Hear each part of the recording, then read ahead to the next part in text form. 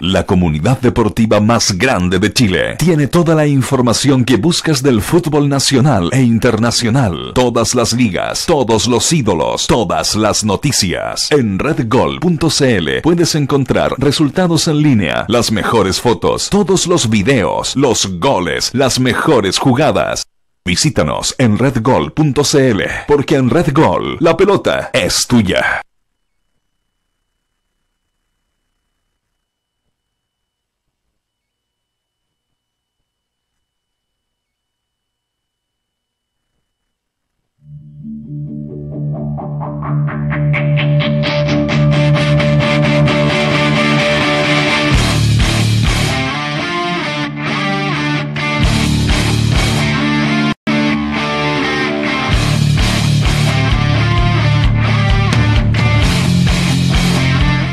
Buenas tardes amigos de Red Gol, estamos en nuevo Red Gol Express para hablar del tema del día y quizás de la semana en el mundo del fútbol, que es la ampliación ya confirmada por parte de la FIFA del Mundial de Fútbol, de la cantidad de equipos participantes en el máximo torneo deportivo del mundo, de 32 a 48 selecciones, un número que eh, impactó en un comienzo, se venía hablando hace algunas semanas eh, que se iba a aumentar y hoy día la FIFA ya lo hizo oficial.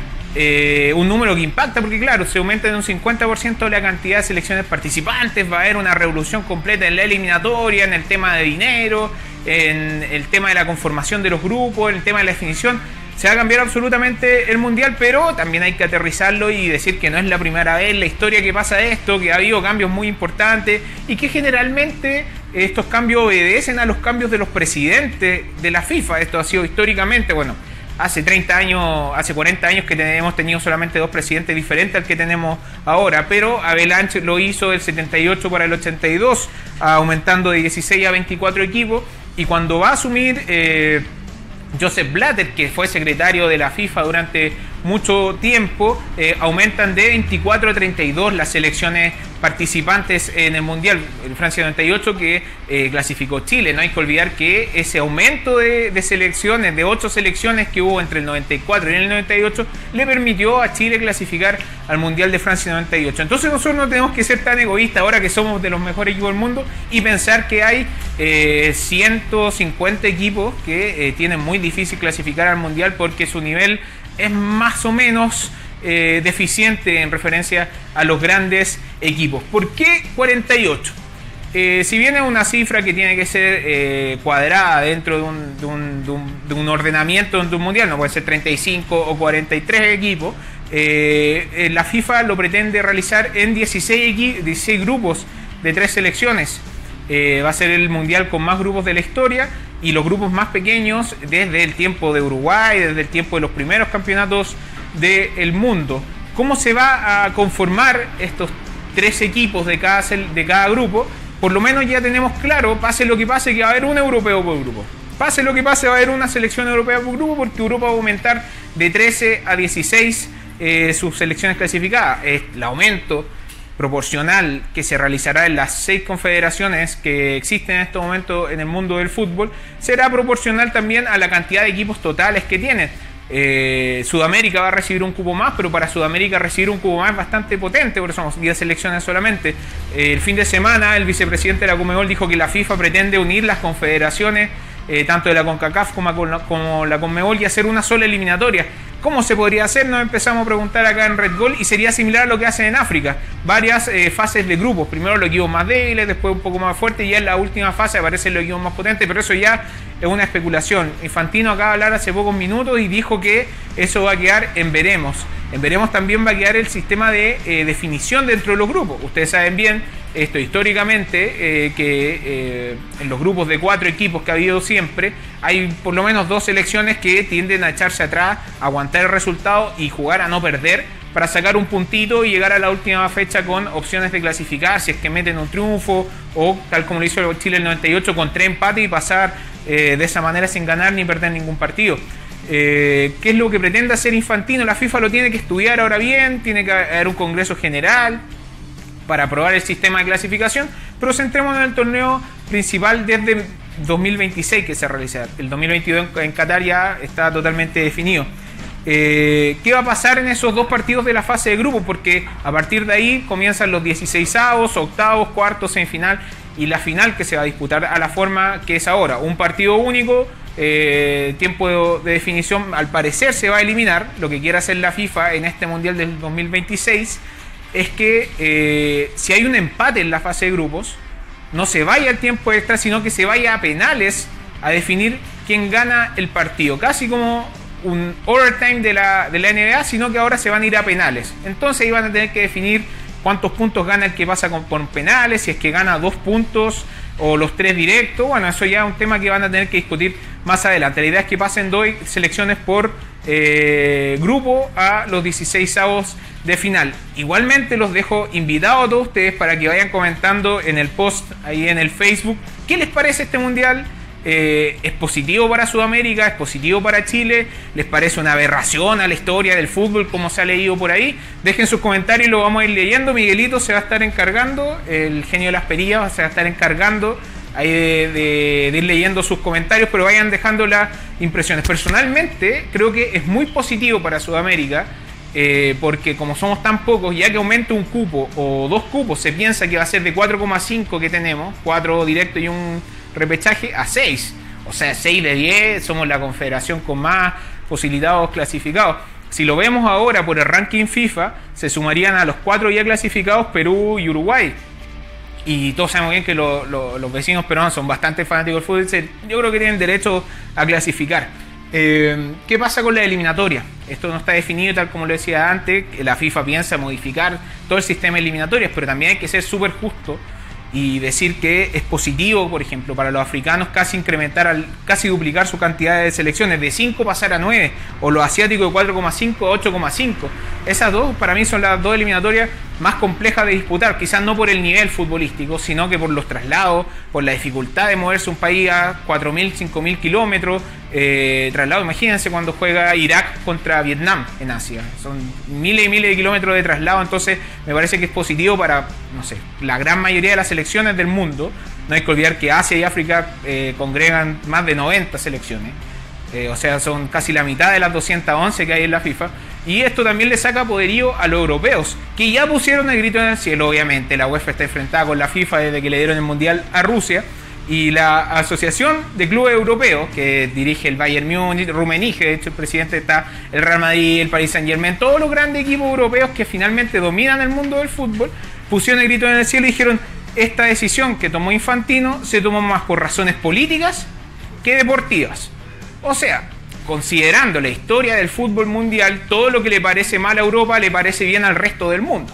Así que para nosotros los sudamericanos nos parecería bastante bien eh, que nos aumenten un cupo y medio. Yo creo que hay que ser claro, eh, Chile nunca más va, o va a ser muy difícil que siga peleando en las tres primeras posiciones de Sudamérica, así que para nosotros yo creo que es bastante positivo. Igualmente, eh, mucho, la, enorme mayoría de los jugadores de esta selección no va a llegar al 2026 a esa eliminatoria. El Nico Castillo ya con 33 años creo que estábamos viendo, o los jóvenes Pablo Galdame u otros más, pero Alexis ya no va a estar jugando, o Arturo quizás ya con mayor edad, pero no creo que alcance en disputar, entonces va a ser más complejo para nosotros eh, clasificar. ¿Qué pasa con Chile finalmente? Eh, a mi parecer, y yo creo que, sería bueno que comenten ustedes también, es muy positivo para la selección chilena porque si eh, nos ponen a competir con la CONCACAF, pese a que la liga mexicana es mejor que la chilena, la selección chilena generalmente saca mejores resultados que la, que la selección mexicana. Entonces yo creo que sería positivo para la CONMEBOL que nos pongan a pelear contra los de la CONCACAF o en su defecto que no aumenten derechamente los cupos a 6. 6 de 10, históricamente Chile debería clasificar en una eliminatoria así, no, no debería haber tanto problema con eso. Por ejemplo, la CONCACAF aumenta de 3,5 a 6,5. O sea, eh, esto quiere decir que todavía hay repechaje internacionales, que es lo que quería eliminar Infantino. No quería más repechaje internacionales, lo que quería es que se disputara en una fase previa antes del Mundial, esa era su primera idea. Ahora se definió que van a ser 16 grupos con 3 selecciones. Oceanía se agarra un cubo, o sea, Nueva Zelanda a clasificar. Ya tenemos el primer clasificado, señores, para el Mundial del 2026 Nueva Zelanda. Felicitaciones a los amigos neozelandeses. Ya están clasificados al Mundial. Así que vamos a ver, pues, así que no tengo ningún problema que, no, que, que, me lleguen a hacer cosas allá de fútbol, ningún problema. Es a los Pellegrini en China. eh, África aumenta de 5 a 9 y Europa de 13 a 16. Quizás el aumento más pequeño que hay y quizás por eso les molesta tanto. ¿Por qué? Porque sus eliminatorias son derechamente más discretas que las del resto del mundo. Los traslados son menores, los rivales son más discretos. Si Alemania pone su, tercera selección, le va a ganar igual a Isla Feroe. Ya eso lo tenemos súper claro. Entonces uno dice, sí, pero tienen otras selecciones diferentes. Sí, pero es bien diferente jugar un partido contra Isla Feroe y después enfrentar a tu rival difícil que aquí como Chile le pasó ir a jugar a Colombia y después recibir a Uruguay. O sea, me gustaría ver a Francia en La Paz jugando contra Bolivia, lo más probable que perdería. Así que eso yo creo que sería bastante positivo para, para Sudamérica y para el resto del mundo y no tanto para Europa. Así que me parece que sería bastante bueno. ¿Por qué se hace esto finalmente en el tema de estricto rigor? Eh, el año, eh, por ejemplo, 74 se jugaban, habían 16 equipos por mundial y el 82 pasaron a 24 que permitió a Chile ir a ese mundial. No, no fue muy bien que digamos, pero le permitió ir a Chile al mundial. 98 pasó de 24 a 32 y eso lo hizo eh, el presidente de la FIFA en ese entonces, Abelancho Blatter, para tener los votos. Es obvio, pues si hay 16 eh, selecciones más, hay más posibilidad de recibir más votos. El Samuel Eto'o, el gran Samuel Eto'o, dijo hace unas semanas que África entero iba a apoyar la idea de Infantino porque le da más posibilidad a los pobres de competir. ¿ya? Y hablando en estricto rigor, tiene totalmente eh, cierto. Van a haber más selecciones, África va aumentar, Asia va a aumentar, Europa se va más o menos perseguir estable, Sudamérica mismo, todos van a aumentar. Y eso va a ser más democrático el mundial. Y claro, hay que llegar primero que todo. Así que yo creo que sería bastante positivo. ¿Cuánta más plata va a ganar la FIFA? Va a generar la FIFA en este mundial. 600 millones de dólares más de lo que se espera conseguir en Rusia. 600 millones de dólares más de lo que se pretende conseguir. O sea, van a ser varios miles de millones de dólares en ganancia. O sea, 2026 queda un montón de tiempo, pero todos sabemos que el marketing en ese momento, capaz que se nos meta China y quiera organizar ese mundial, eh, van a haber 16 partidos más. De 64 pasamos a 80. Eh, todos sabemos bien que para recibir 80 partidos en un mundial tienes que tener una capacidad organizativa tremenda. Brasil lo hizo con mucha dificultad siendo un país muy grande. Estados Unidos puede recibir, pero no me extrañaría que se hiciera en China, con todos los millones y millones de dólares que están invirtiendo en infraestructura y en toda su, liga. No me extrañaría que el primer mundial fuera en China, que tiene espacio de sobra para, recibir 48 eh, selecciones que por lo menos tienen asegurado dos partidos. Después si pasan, van a ir a los 32 avos, perdón, 16 avos en adelante. Así que lo más probable es que de las 32 selecciones de las 48 y 32 tienen asegurados tres partidos de la misma forma. O sea, no cambia mucho el panorama. O sea, el que sale último en su grupo de tres merece derechamente irse para la casa y después jugar dos partidos. No, no merece jugar tres partidos. Pero si pasas tú segundo, ya tienes un partido de 16 asegurado y es tu tercer partido. El panorama es muy similar. El cambio se ve grande, pero en sí, en el estricto rigor, no es tan grande. El mundial va a durar lo mismo. Va a durar cerca de 30, 31, 32 días, que es la mayor crítica que le hacían los europeos es que el calendario está copado, es que no tenemos más espacio para torneos. Claramente ellos son los que tienen 4 o 5 torneos por, por temporada. O sea, en Sudamérica el calendario está bien ordenadito, ellos son el problema del calendario sobrecopado. Entonces por eso les molesta a los europeos que la FIFA dijo, ya perfecto, el Mundial dura lo mismo. Y siguen reclamando, van a reclamar por siempre los europeos. No sé si Miguelito hay comentarios de la gente, si no hay seguimos, ¿no? ¿Ah? ¿Hay? Sí. Ya, vaya leyendo. Ahora sí. Hay por supuesto comentarios de los redgoleros que a esta hora se están conectando al, a este Facebook Live que estamos realizando a esta hora de la mañana y que ha tenido muy buena aceptación por parte de, todos los redgoleros. Por acá, vamos a empezar con... Hay harto saludito. Por acá, Mandémosle saludo a la gente. César Quesada nos dice, vamos Chile CTM, por acá. Bastián ¿Qué significa CTM? Constanza es una pariente de Constanza Santa María, solamente que tiene el la T ser más específico. Por acá, Bastián Andrés. Chile si quiere ganar el Mundial les debe ganar a todos. Ojalá se haga por el Mundial de 48 selecciones. Álvaro Banda, hay que ver cómo funciona. Él cree que es muy bueno. Nicolás Calderón, está bien, todo tiene que evolucionar y esto es incluir. El fútbol debe tratarse de eso y ya basta de soberbias. Sí, por ejemplo, lo que dice evolucionar, claro, en 98, cuando se hizo el cambio, habían países que no existían clasificados. Por ejemplo, Yugoslavia clasificó al Mundial de 98 y hoy en día se desmembró en un par de selecciones más. Así que yo creo que hay que actualizarnos. Así es. Por acá tenemos más comentarios que están que está cargando. También está, se hace presente Nicolás Olea acá. Hay una, hay una, hay una, pregunta bien, bien interesante. ¿ah? Estoy soltero, o sea, eso es. Sí, está soltero, nos, nos comenta. Sí, pero a ver, aquí hay un tipo que dice que hay que evolucionar. Que es bastante cierto, también Infantino lo decía, ¿eh? hay más países competitivos de los que habían hace cuatro años, ocho años. aquí, hay una, aquí hay una pregunta, ¿los primeros de cada lugar pasan directo a octavos? No, no.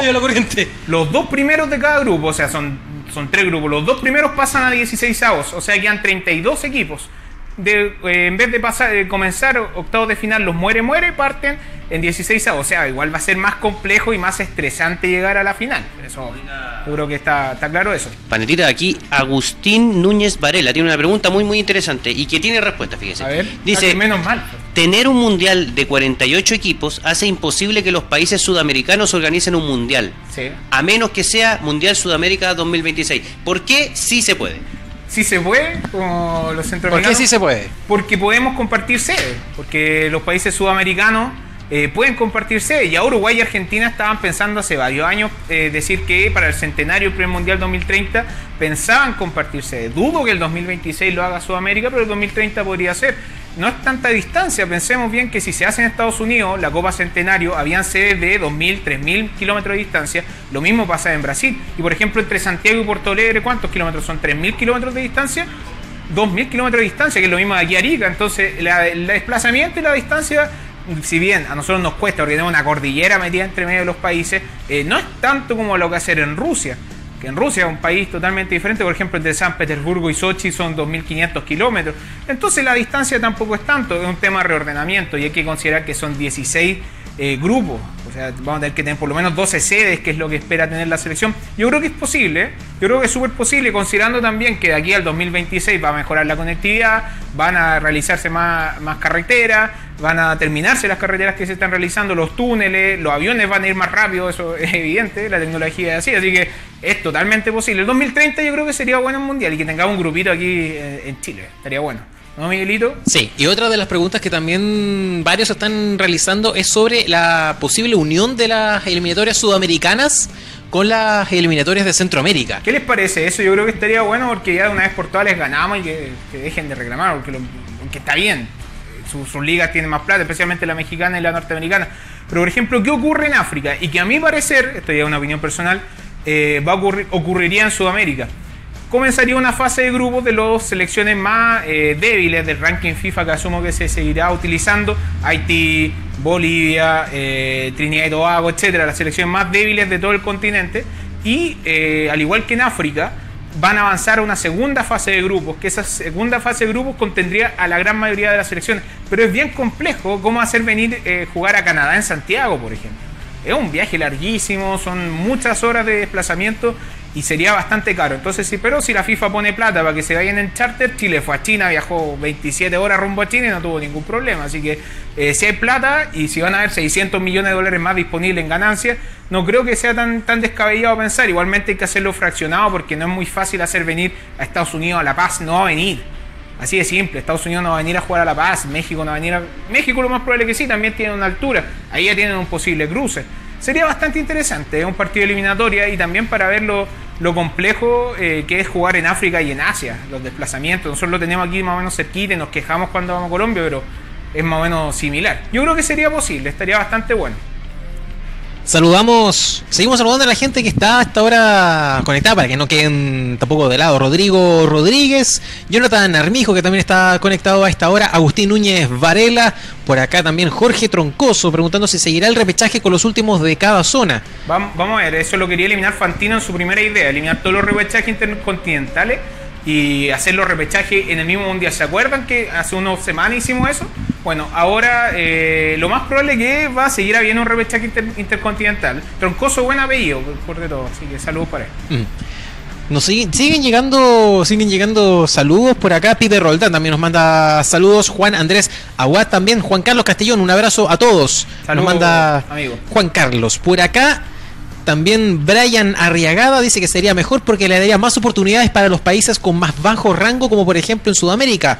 Perú, Paraguay, Venezuela o incluso Bolivia les daría la posibilidad de llegar a un mundial y le haría la pega más fácil a nuestra selección. Que se juegue las eliminatorias entre Sudamérica y Norteamérica, así hacia México y Estados Unidos se le hará más difícil y por fin tendrán unas verdaderas eliminatorias, nos dice, por ejemplo, Brian Arriagada. Por acá. razón, Brian. Por acá también nos salió a. de acuerdo. Sí, alguien que está de acuerdo con, esa idea. Cristian Curillán también. Agustín Núñez también nos manda Grand Live. Y también Juan Carlos Castillón. Hay harta gente que está comentando esta hora con Un abrazo para todos ellos que sean el tiempo de, de vernos. Así que eh, igualmente se está siguiendo, eh, esto es actualización constante, ¿eh? noticia en desarrollo.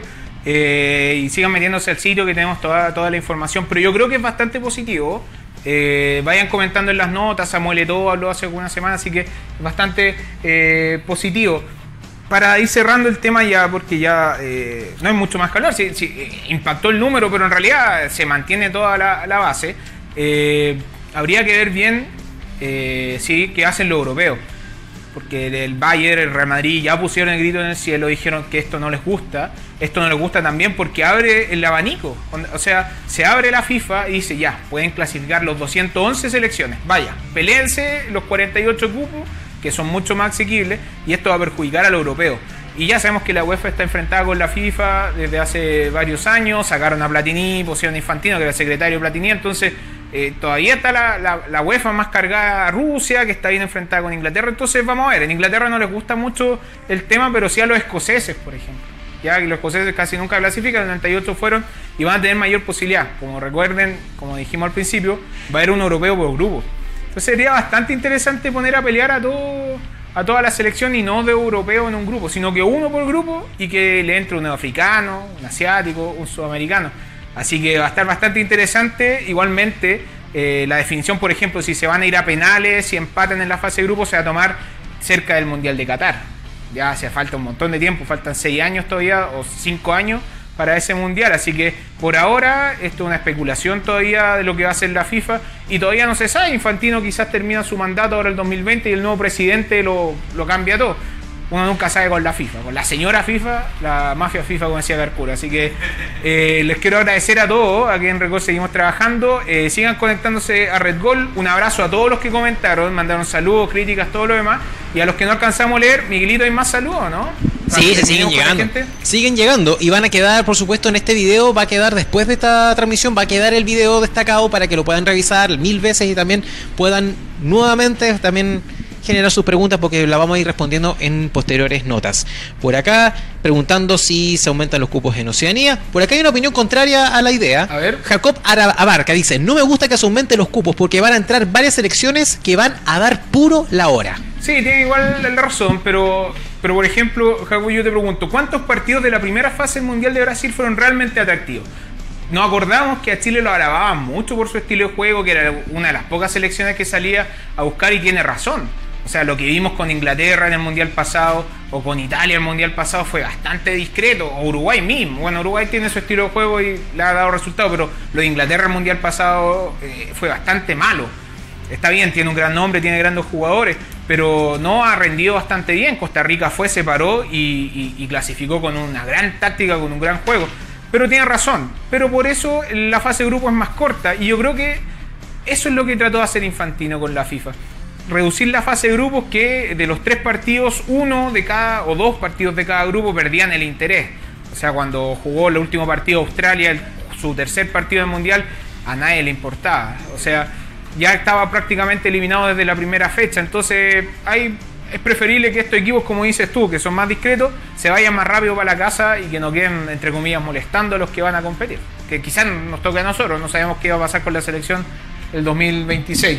Y en el Twitter que también estábamos publicamos también esta, esta transmisión, nos dicen Christopher Johnson, mala idea de ampliar la cantidad de países que puedan jugar porque se va a echar a perder el nivel del torneo. Es lo que nos estaban comentando también Claro, en el Twitter. Decíamos recién, hay, hay selecciones que en realidad son bastante discretas que van al, al mundial y otras que les tocan grupos asequibles, pero esa es la gracia del fútbol finalmente, que las selecciones discretas, por ejemplo, hasta hace un año y medio nadie creía en el Leicester que iba a salir campeón de la Premier y ganaron todos los premios. Ranieri y Hatz se llevó el premio en África, así que yo creo que está bueno demo- democratizar y está bueno tirar ahí a, ¿cómo se dice? Subirse al ring y agarrarse a combos con el que sea, ¿no? Pues es que, como dicen por ahí, para ser campeón hay que ganarle a todos, ¿cierto, Miguelito? Y cortamos ya porque... Así es. Ya, les mandamos saludos a toda la gente que está conectada y que se- y si se viene conectando ahora último, va a estar subido en 48 segundos aproximadamente la transmisión en vivo ahí en el Facebook Así que para que la puedan reír y sigan comentando y lean los comentarios de la gente que están bastante entretenidos y que ya están generando